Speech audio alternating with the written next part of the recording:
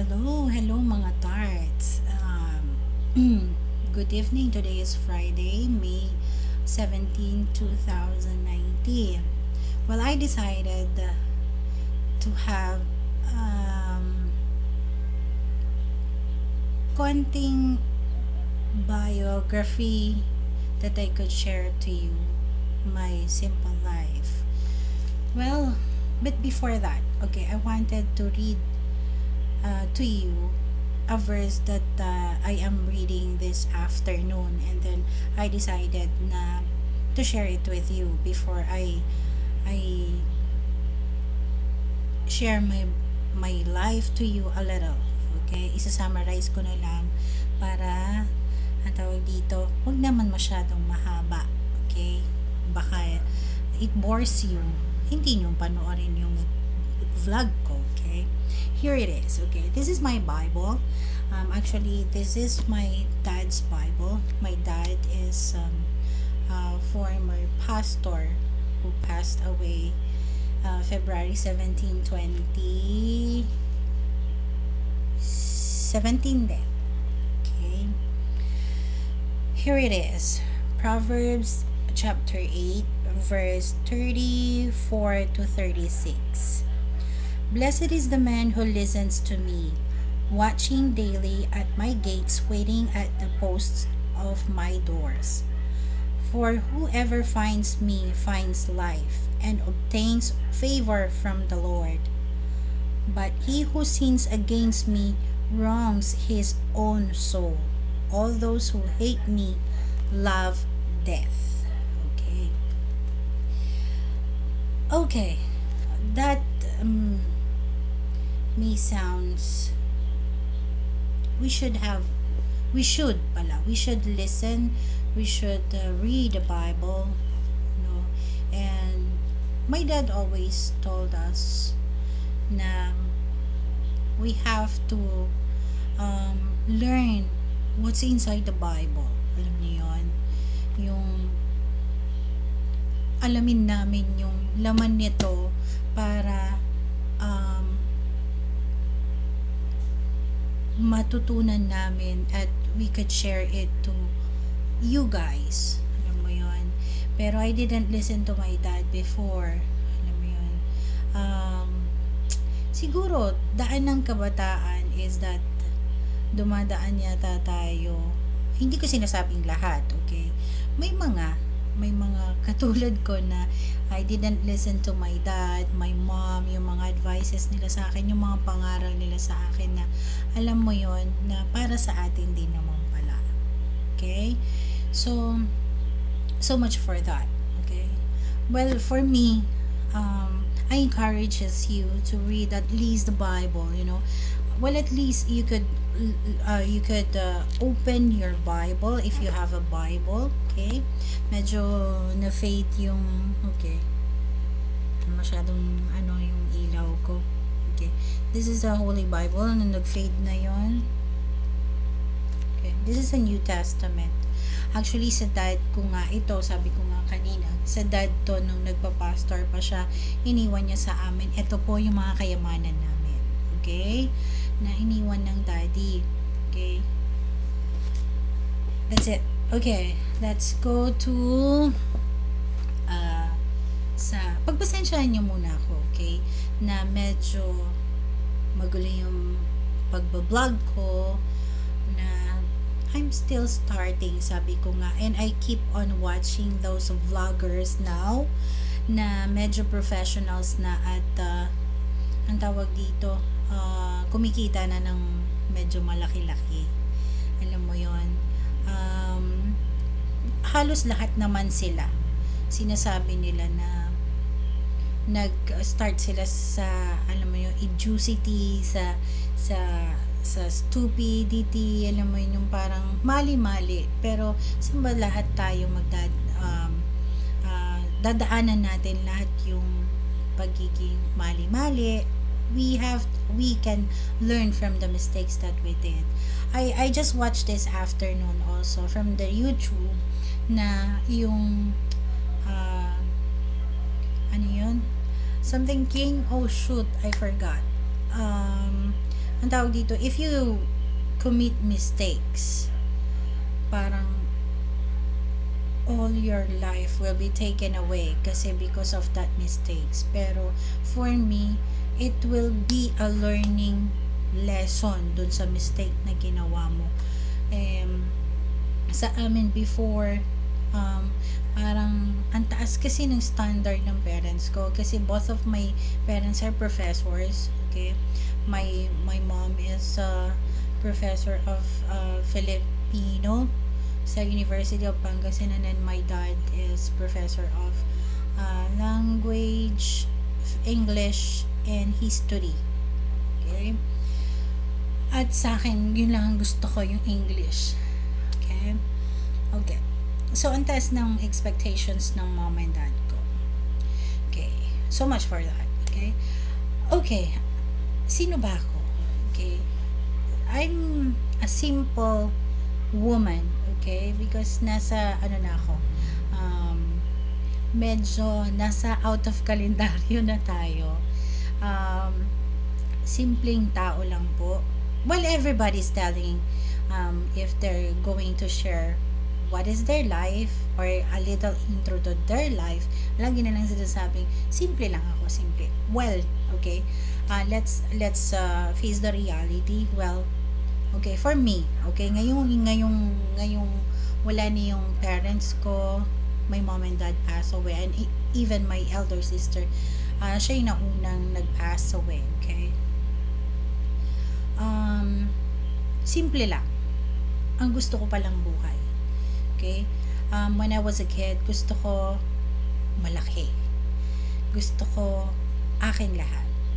Okay? Kasi ganun ang um, upbringing nung parents ko na um, they gave us everything what we want. Sometimes even we're not even asking for it. Bigla nila, okay, sige, yaya, o yan, bigay mo na. Sige, bilan mo sila, punta kayo ng ganyan. Alam mo yon Yeah, uh, galing kami sa ganong buhay. But then, hindi nila tinuro sa amin um, what life can bring us um, on the other side of happiness. Alam mo yon na uh, we thought hindi walang lungkot, walang hirap, walang sakit. Alam mo yon There's no sadness at all. Feeling ko nga that time there's no death. Even a lot of times na si ate pag hinika na yan alam mo yun sa hospital is my sister gonna die. Yun ang sasabihin ko. Pero alam mo yun I was a kid. I was stupid. Alam mo yun. And nobody taught me na what is really life is not until okay um, eto na nung my dad taught me, I talked to me one time. Sabi niya, anak, um, you're growing up, um, minsan usap tayo. So, there was a time na nag-usap kami ng daddy na about life and how my life is going. So, um, nasa mids ako ng roller coaster na my dad dapat hindi niya or dapat pala tinuro niya noon. Alam mo yan. Nagugulan ba kayo sa akin? Okay. Here's the thing. Okay, isa-summary ko na lang. Okay. So, ang daddy, maraming naituro sa amin um, sa loob ng Biblia. Okay? Daddy is always um, talking about who is God, who is Jesus, what is the Trinity, what is inside the Bible. Okay? Lahat ng salita niya, puro words of wisdom, lahat talagang matututo ka. Alam mo yon na malalaman mo yung laman ng mundo sa daddy ko. Alam mo yon And my mom is my mentor. Mentor at the same uh, thing is she is criticizing everything that you do. Alam mo yun na feeling ko, dinadown ako lagi ng mami na um, nagkamali lang ng konti, bulyaw dyan, tapos grabe na yung ratatatatat ng bibig niya. But, yung pala, excuse me, ang tawag dito, now that I am a um, mom, alam mo yon na sabi ko, shoot, uh, naririnig ko yung boses ng mommy ko sa sarili ko. Alam mo yon na, na, of course, my daughter, medyo hard-headed na rin. Alam mo, mga millennials ngayon, medyo talagang iba nung nung mga kabataan namin. Okay? Okay, simple life. I have a small house. Okay? I have a bigger house na iniwan sa akin ng mom and dad ko but uh, sabi ko nga sa kapatid ko, sa brother ko na hindi ko hangarin yung malaking bahay. I only want a simple house na I could call a home. Alam mo yon There's a difference between house and a home and it's for you to find out, okay? Kasi alam nyo, um, sometimes you have to share people and they, and alam mo yon yung iiwanan mo sila ng, ha? Ano yun? Yung, uh, sabihin mo na sa akin, turo mo na sa akin. Hindi. Hindi lahat kasi they're gonna be dependent sa'yo. Okay? Uh, a lot of times, dad is giving me words na parang ang lalalim na tatanungin ko kay daddy na ano yun? Ano yung mga ganyan? Sabihin mo na sa akin, parang hindi na ako, alam mo, yung when I get there, parang alam ko na, may precaution na ako. ba diba? No, you have to learn it on your own. You have to figure it out. Yun ang laging sabi ni daddy. Kasi pag sinabi ko lahat, paano ka matututo? Okay? So, I learned. I learned a lot kasi, hindi naman finid sa akin lahat ng daddy ko. Eh. It's just that, um, binigyan niya ako ng pagkakaisipan ko. Alam mo yon na pag alam niyang pagdadaanan ko, na supposedly, pinipigilan niya na pagdaanan mo yung mga things na it will hurt his daughter, alam mo yon um, kaso hindi eh, hindi konsentidor ang daddy ko, alam mo yon And then, um, my mom taught me how to be strong. Okay? Si mommy ang nagturo sa akin na lumaban. Alam mo yon Hindi to fight na quarrel, gano'n na. Hindi. Um, yung labanan ko yung buhay ko. Um, every obstacles that comes my way, lahat ng struggles ko sa buhay, lahat ng pagdadaanan ko, kailangan, alam mo yon lalabanan ko, matatapos ko. Sabi nga nila, sabi ko pala, na I learned from myself na I have to finish what I started. Kasi, nung kabataan ko, alam mo yon yung may uumpisahan ako, parang nung high school eh, no? Pasensya na kung random masyado yung mga kwento ko ha. Kasi ako yung hyper yung utak ko, ano yung naisip kong una. Alam mo yun, sasapawan niya yung yung nauna. Mauuna yung huli. Alam mo yun, parang ganun. Kaya pagpasensya nyo na kasi I'm still learning. Okay? And uh, sometimes, ganyan ang ugali ko. Parang, hindi pa tapos tong isa. Eto ka na naman. Alam mo yun. Okay pasensya na kayo. Magulo din ang aking hair. Kasi kaliligo ko lang. Yan, tulad niyan, na-distract na naman ako hindi ko alam. Parang nung, okay, eto, nung high school ako, alam mo yon sa THA class namin, um, hanggang sa umpisa lang ako, na meron kaming project, uh, for example, yung burda ba yun, yung ganun, or kaya magtatahi, alam mo yun, actually, that is not my passion. Wala akong passion sa mga ganon. But, when it comes to cooking na, hala, alam mo yun, hindi ko na natatapos yung mga cross-stitch ko na project ko. I do not finish it. I did not talaga finish it. Kaya, pag yung pag magsasubmit ka na ng, ng ang tawag dito, ng project mo, sabihin nila, Kathleen, wala ka na namang project. Ba, nung umpisahan mo and you didn't finish it as usual. Ganyan na ugali mo from first year hanggang ngayong gagraduate ka na, ganyan ka pa rin. Eh kaso, pinapatapos pa rin sa akin. So, yung sa huli, ako rin pala mahihirapan na sana sumunod na lang ako, alam mo yun. Ganon. Um, dapat pala makikinig lagi. Kasi ikaw, mm, parang sila, tapos na sila sa ganon. You have to learn Okay? Makinig. Yan lagi. Na lagi ko rin ina-advise sa, sa anak ko, sa mga kapatid ko dito na makinig kasi kayo para hindi laging nagkakamali. Okay? Okay. Uh, my work, my job, ano ba?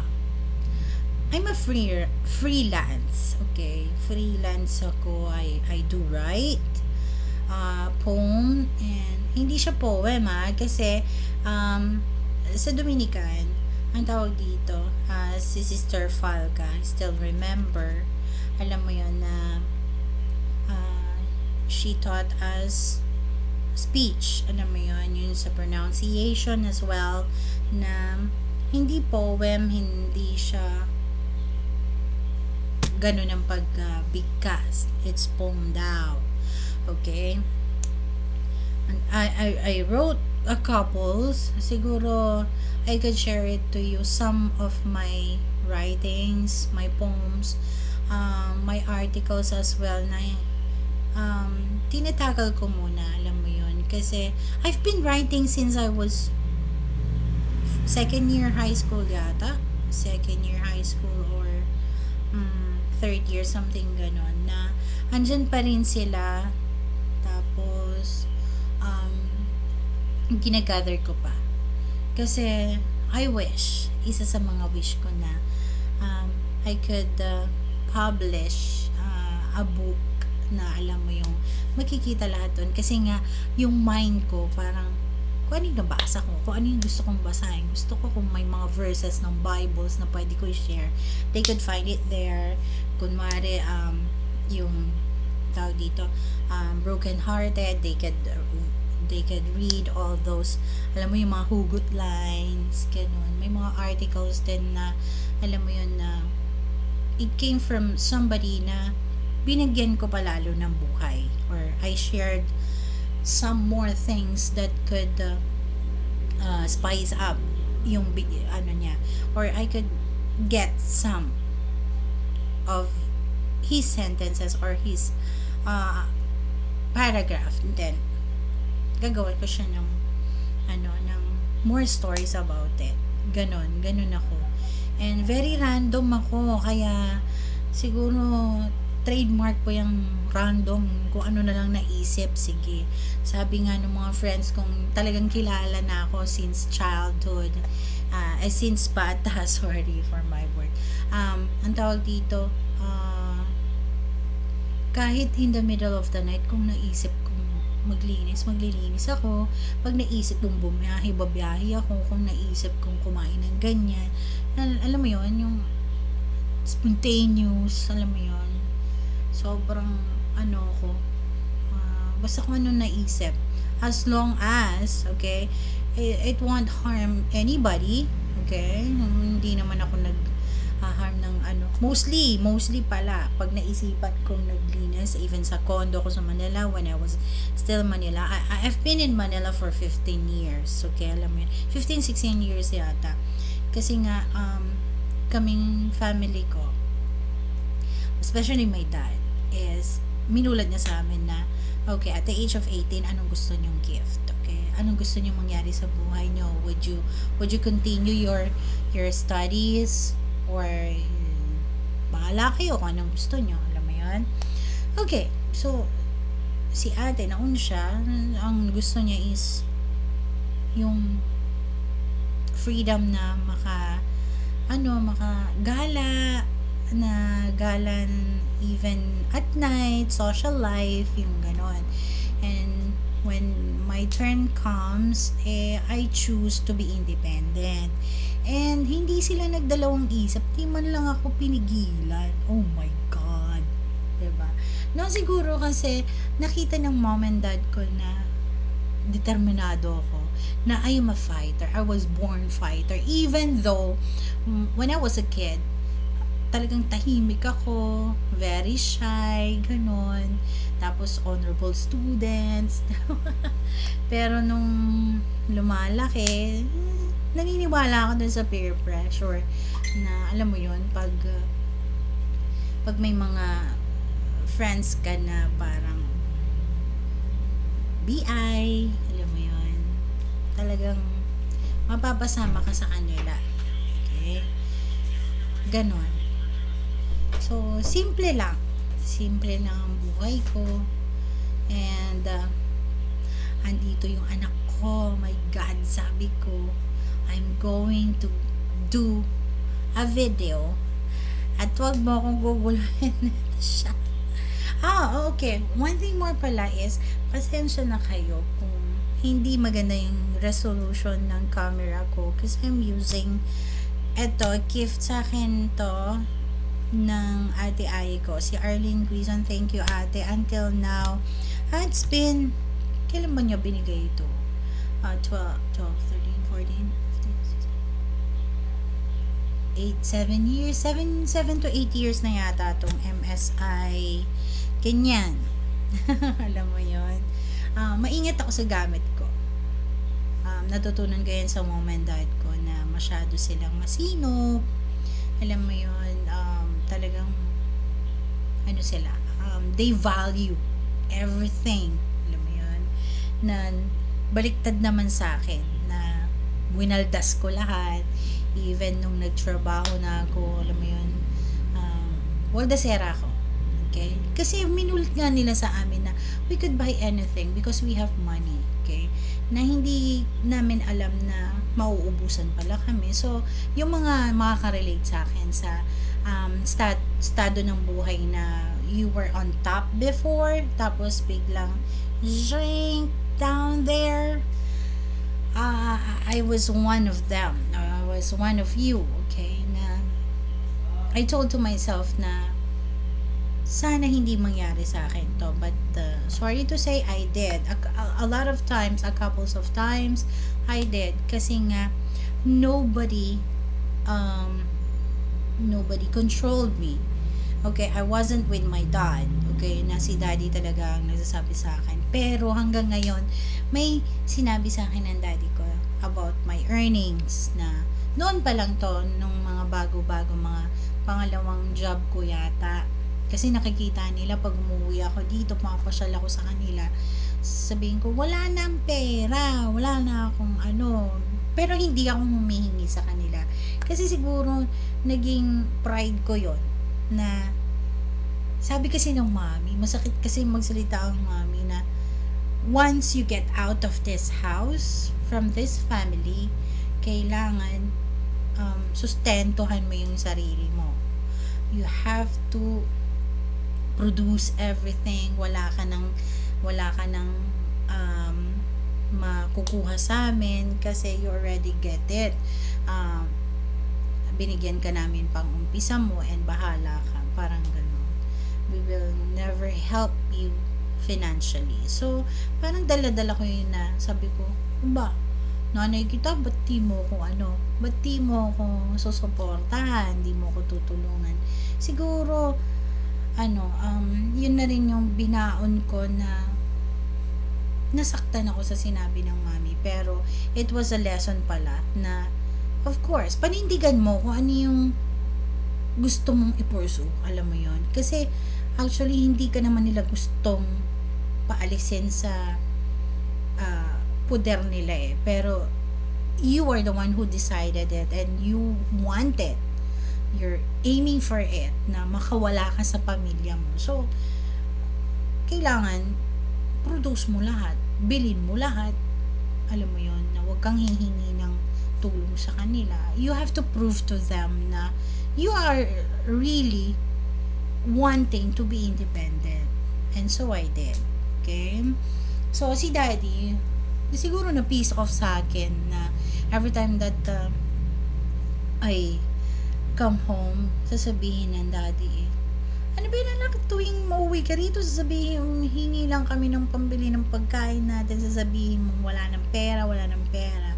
Okay, kasi nga waldas nga po ako noon sa mga nakakakilala po sa akin na kamag-anak or whoever. Ano? Um, totoo, um, naging sobrang waldas ako noon na I didn't knew. Kasi ang akala ko, madiskarte ako. Yes, indeed. Yeah, thumbs up ako dyan. Dalawa pa okay? Madiskarte ako kung sa madiskarte. Pero I didn't know na sa pagdidiskarte mo na yun, what if, ba yung buhay eh, tinest ka niya. Alam mo? What if life test you na yung parang wala kang wala kang ganong kalaking savings dahil sa pagwawaldas mo medyo na um, pinagkaitan ka ng konti ng pagdidiskarte mo. Alam mo yon you know what I mean? Alam mo yun? Ay, hindi ko alam na mangyayari pala sa akin yun. And it happened. Okay? Mahirap. Kasi galing ka sa meron. Tapos biglang, wow. Alam mo yun? Pero it's okay. Kasi it's all lesson learned. Okay? Ang mahirap dyan kung paulit-ulit na lang.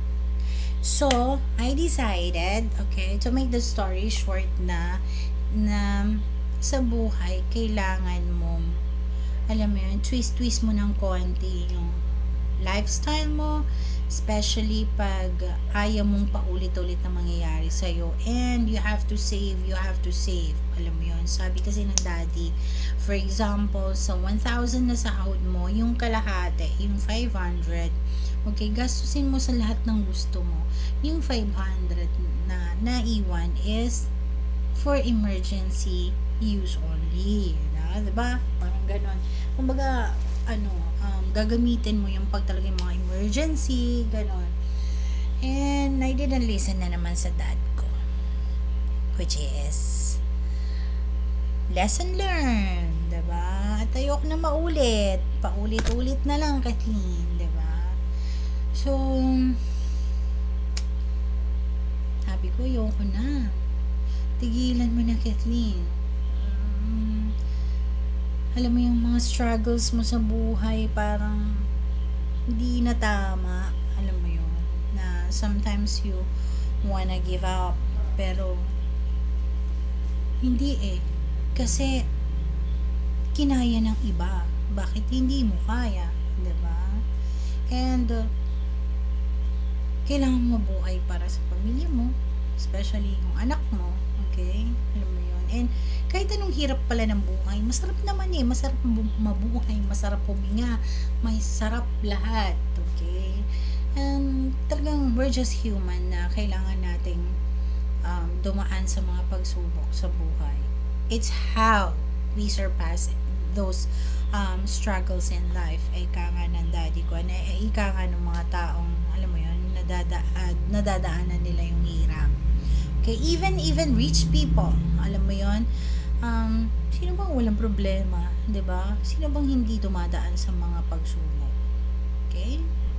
Ang biggest pagsubok na dumating sa buhay ko is when I lost my dad. Uh, una una muna kasi um, my ate passed away um, after her birthday. January I forgot the date pero I think 17 yata January. 17 9 yung birthday niya. Tapos um two, that was 2010 10 11 yeah.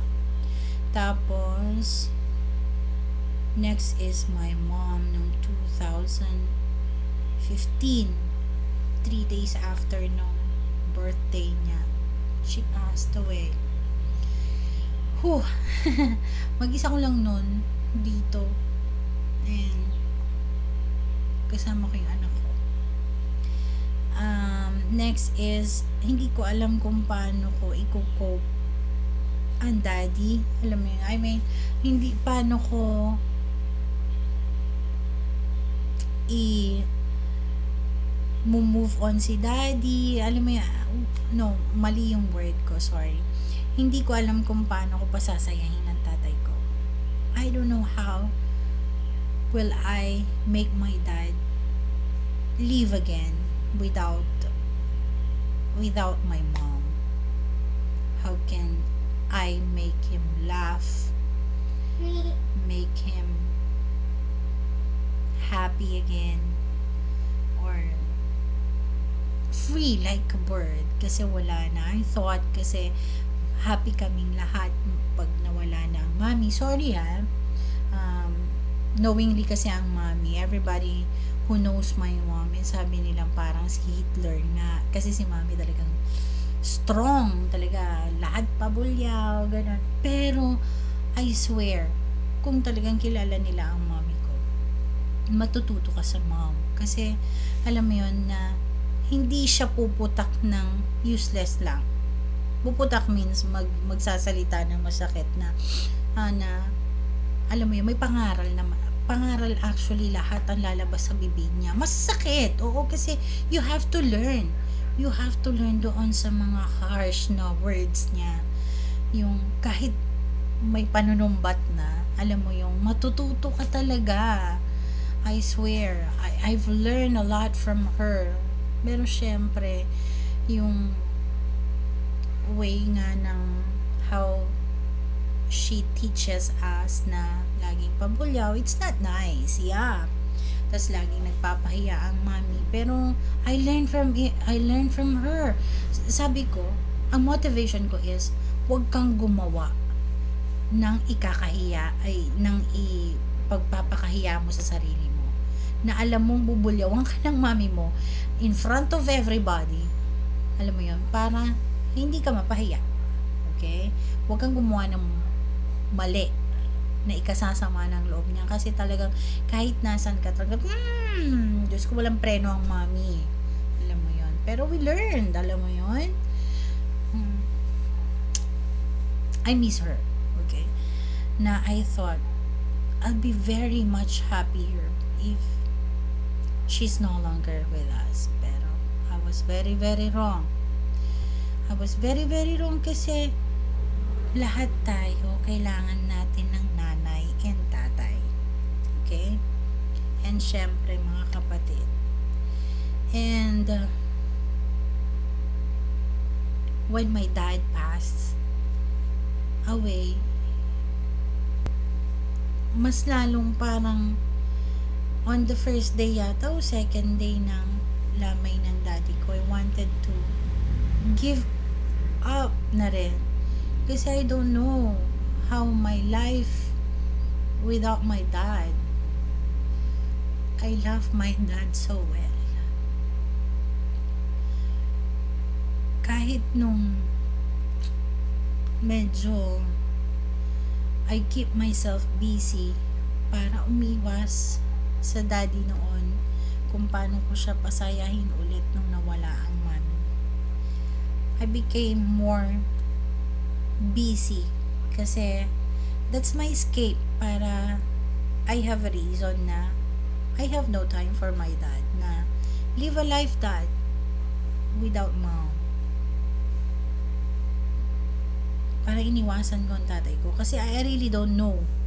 I really don't know how to how to make my dad happy again. mahal ko ang tatay ko. Kasi, sobra akong natuto sa kanya about life, about God, na wala tayong ibang kakapitan talaga kung hindi si God. Na I didn't believe that when He was still here with me. Alam mo yan, I was so stupid I didn't listen. So, sa, sa inyo po na mga medyo hindi pa nakaka-realize na importante na nandiyan ng mga magulang natin. Sobrang dapat thankful kayo kung buhay pa yung both parents nyo kasi they help a lot. Alam mo yung kahit hindi sila ganon ka-outspoken like my mom and my dad and me. Outspoken ako ang tao eh. Ang tawag dito, alam mo yung kahit nandyan lang sila, you're still happy. You come home, you have a complete family, your mom and dad are there. Alam mo yun. You should be happy. You should be thankful to God na despite everything uh, you've been through or sa mga pinagdadaanan mo pa, kailangan thankful ka kasi nandyan sila. Kasi iba yung feeling ng matatakbuhan mo yung magulang pala. Which is true, okay? I thought noon kasi, ay hindi ako close sa mom ko, okay? Kasi nga, lagi siyang galit. Pero, ngayon, alam mo, may mga times din naman na I could, I could come to my mom and tell that there's something wrong. That I, that my life is not okay. Alam mo yun? Na I need her advice. I need her uh, yung mga galit niya. Alam mo yan. Kailangan mo ang nanay at tatay. Nahihirapan ako sa nahihirapan kasi hindi, sila lang yung nakakakilala sa akin ng lubusan. If you have a boyfriend, you have a friends, you have a, may asawa ka man, wala. Alam mo yung iba, iba pa rin yung magulang. Mas makikilala ka. Na, mas kilala ka ng, alam mo yun, magulang mo na even you hindi ka magsalita, they know na there is something wrong with you. Yun? So, sobrang I miss my mom and my dad. And uh, I just wish na siguro soon kung magkikita at magkikita pa rin ulit na I could hug them again and talk to them. I could kiss them. I could hold them. Sorry. Because I just really miss my mom and my dad. Namimiss ko din yung ate ko. I miss my family. I really miss them so much. Sorry, I'm going to end my video. Sorry.